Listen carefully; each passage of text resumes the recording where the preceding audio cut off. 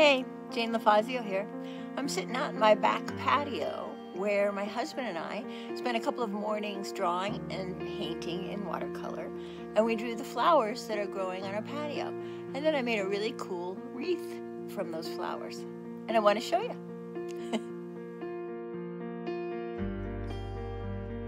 Usually we'd have breakfast and then go out, often in our pajamas and a cup of coffee, and draw for an hour or so in the mornings when it was cooler.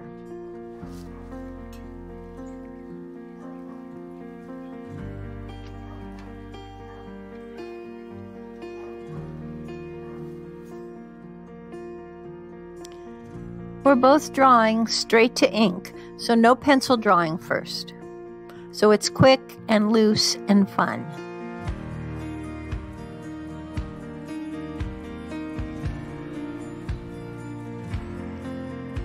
It was a really fun project to do with my husband in the mornings. We both enjoyed it so much. Even though I'm drawing loosely, I'm still studying the flower closely and drawing each petal as I see it.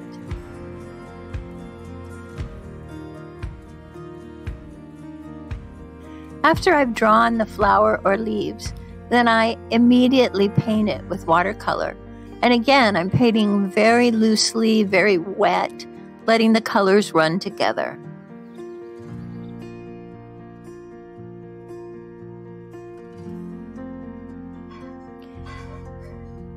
Each morning, after about an hour or so, I've been able to complete one page of flowers and plants.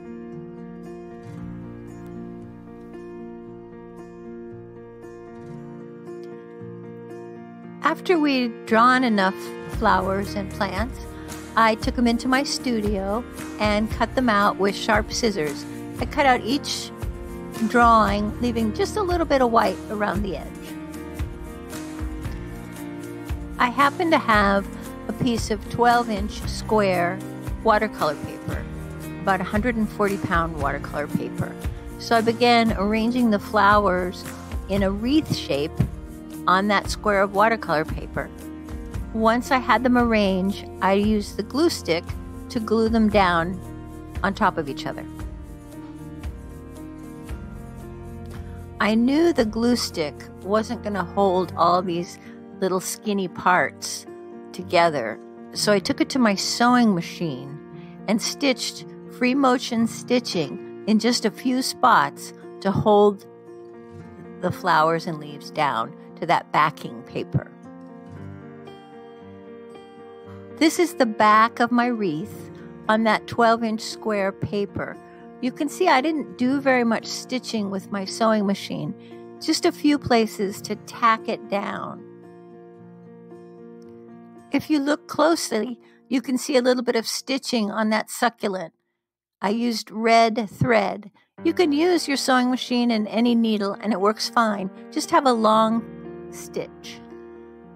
After I cut around the outside edge of my wreath and also the inside edge with, just with scissors, then I got an X-Acto knife and started cutting in between some of the flowers. Not all of them, but some of them. I think this is a great project to do with the members of your household, your kids, whoever's there Everybody can draw flowers, everybody can cut them out, and you can glue them into a lovely wreath.